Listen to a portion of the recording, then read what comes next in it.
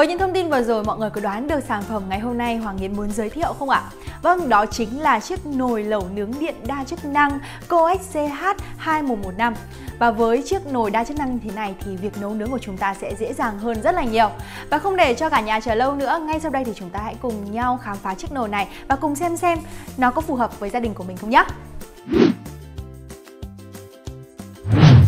Lẩu nướng điện đa năng Coex CH2115 có thiết kế trang nhã với gam màu trung tính. Điều này vừa tạo sự hài hòa cho không gian bếp, vừa mang lại sự tinh tế cho ngôi nhà. Thêm một điểm nữa mà Yến rất thích ở sản phẩm này đó là phần lòng nồi được làm bằng thép không dỉ cho nên là nó rất an toàn cho sức khỏe người sử dụng và hơn nữa đó là dễ dàng hơn cho việc là chúng ta uh, rửa cũng như là lau chùi sau mỗi lần sử dụng. Ngoài ra, bề mặt của những lòng nồi như thế này còn được phủ lớp sơn chống dính Daikin PTFE có tác dụng giảm khói dầu ăn trong quá trình mà mình nấu nữa đó nha. Sản phẩm được trang bị cả khay hấp. Đây ạ, mọi người có thể nhìn thấy. Khay lẩu và cả khay nướng nữa Tùy theo nhu cầu sử dụng mà chúng ta à, sử dụng từng khay một. Ngoài việc nấu lẩu chúng ta có thể sử dụng để nấu canh, nấu cháo, luộc rau. Với những chiếc bếp nướng thì có thể sử dụng để nướng thịt, xào.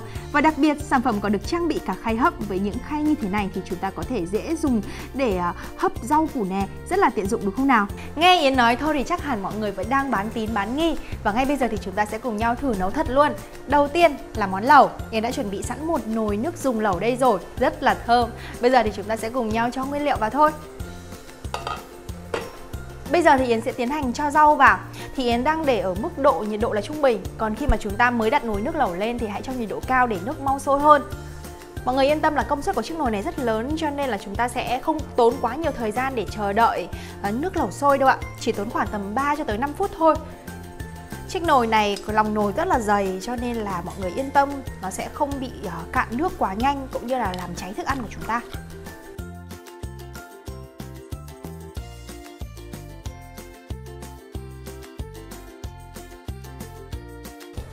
Wow, và bây giờ thì chúng ta đã có một nồi lẩu đấy rồi. Rất là thơm. Cho nhiệt độ xuống thấp Và bây giờ thì chúng ta sẽ tiến hành thưởng thức thôi. Rất là thơm.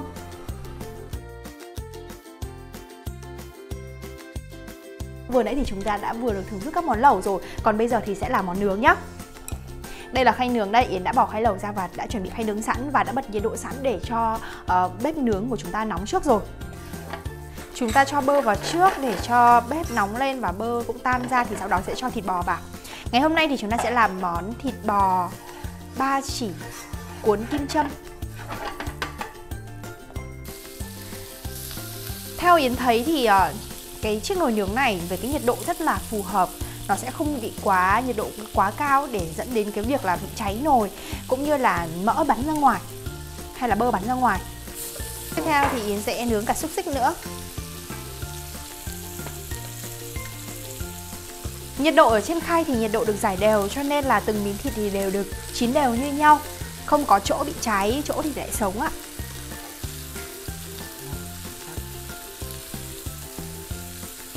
Như Yến đã giới thiệu, ngoài lẩu với nướng ra, sản phẩm này còn được trang bị thêm cả khay hấp nữa.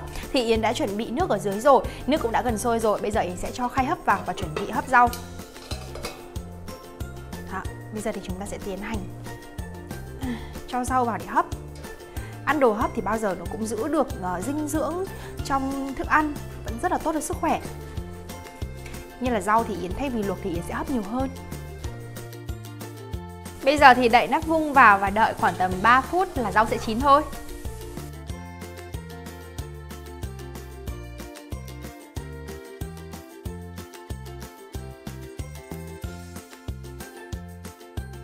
Cũng giống như khá nhiều sản phẩm khác, đó chính là phần nắp vung.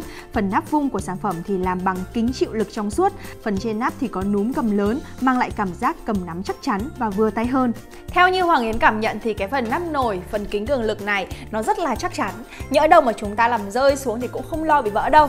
Nhưng mà cũng quý vị thì cũng hãy cẩn thận nha, tránh va đập nhé.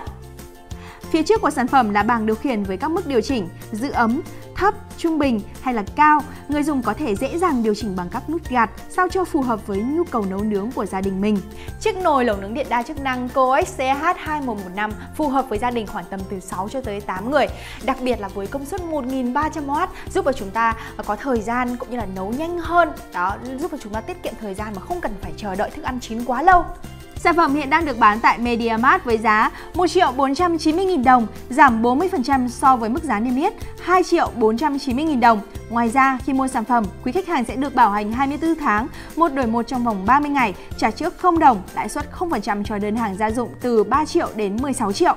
Một chiếc nồi vừa có thể làm lẩu, nướng, hấp hay là các món cháo, nấu canh Rất là đa di năng đúng không nào? Và nếu như quý vị tìm một chiếc nồi đa năng thì đừng bỏ qua chiếc nồi Coex CH2115 này nhé Và để tìm hiểu kỹ hơn về sản phẩm thì quý vị hãy liên hệ với chúng tôi qua website mediamart.vn, thế giới điện máy.com hoặc là gọi thẳng vào số hotline 1900 6788 Cảm ơn tất cả mọi người đã theo dõi video ngày hôm nay. Xin chào và hẹn gặp lại trong những số tiếp theo.